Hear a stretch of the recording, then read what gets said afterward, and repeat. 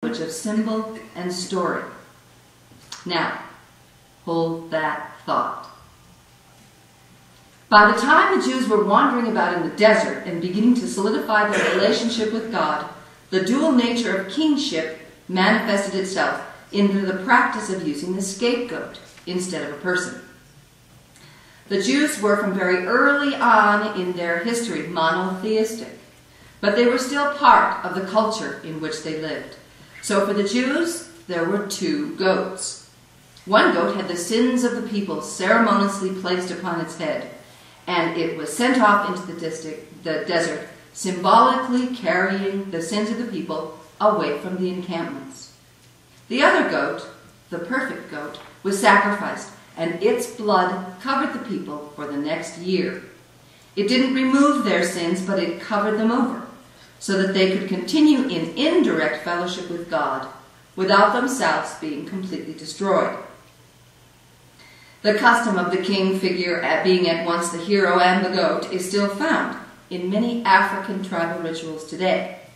I don't think it's common practice to sacrifice the king at the end of a given length of time, but vestiges of this ritual are still found. And we, in our society, bow down and swear allegiance to many different kinds of kings. Still, even our king is expected, in theory anyway, to bear the sins of the people and to be willing to sacrifice himself for them.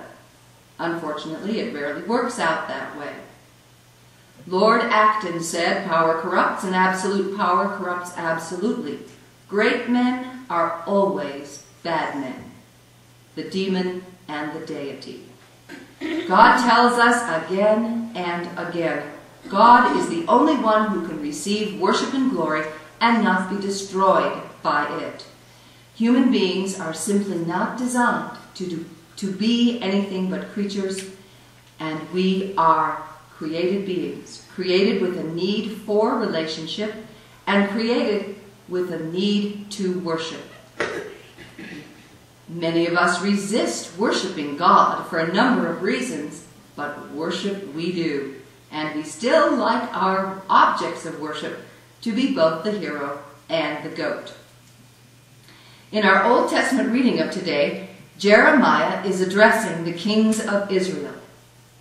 I don't know about you, but I would not want to hear God saying to me, you have not dealt properly with my sheep, and now I will deal with you.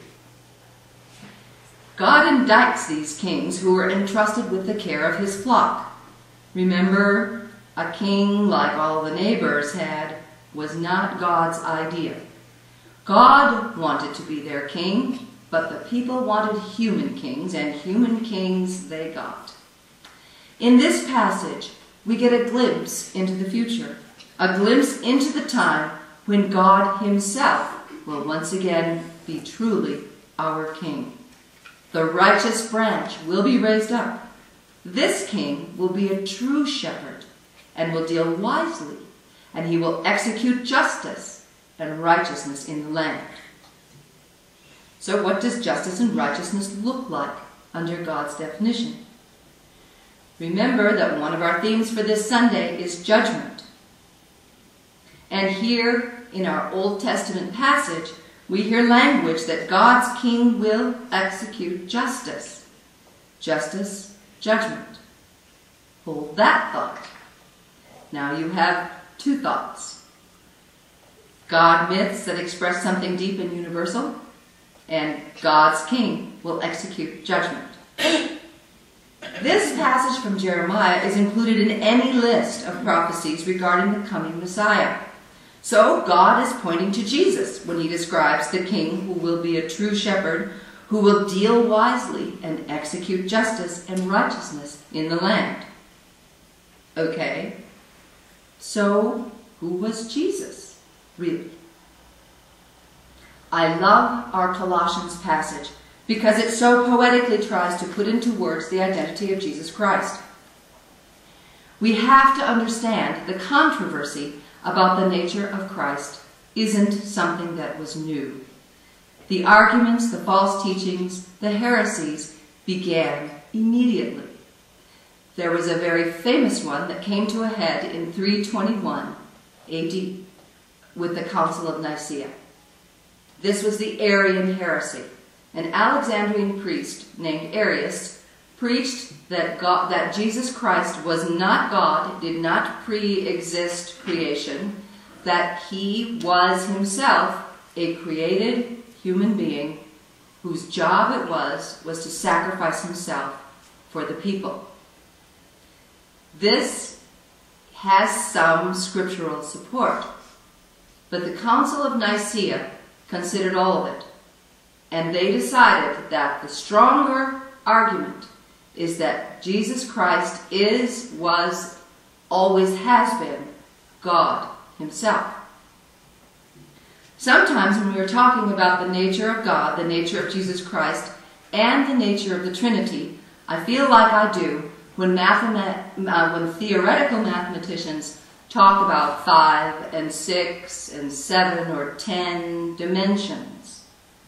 Maybe they can work mentally in five or six or ten dimensions and actually imagine them, but I cannot.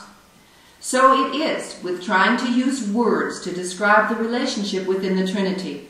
Three beings, one God. Is Jesus literally the Son of God, like Andrew is Vic's son? Or is this symbolic language trying to reduce something of far more than six dimensions into the limited dimension of words? Jesus is called the Son of God, the Son of Man, the firstborn. Here in this passage, Jesus is referred to as the firstborn of all creation. So did the creation give birth to Jesus, or did Jesus, as the passage later indicates, predate creation? The key thought here is that God is relational. God is love. So within himself, God must demonstrate all the elements of love. And yet throughout the Old and New Testament, the monotheistic nature of God resonates. Hear, O Israel, the Lord our God is one. The most important idea for us to focus on here is the idea of image. And the other key is found in the concept of sonship as it was meant in Jesus' day and before. It's all tied up in inheritance and in the idea of being an agent. When a man inherited his father's estate, he became, in essence, his father. When a person is an agent for a landowner, people who were dealing with the agent were actually dealing with the owner. And Jesus, as the image of the invisible God, in whom the fullness of God was here present, is being described as being fully God and fully human. It's not a literal father-son relationship, but rather as the Son is the expression of the Father and the image of the Father, so the Son images the Father in carrying the Father's life forward into the future. He images the Father in his dealings with others and with the estate. Jesus is the human face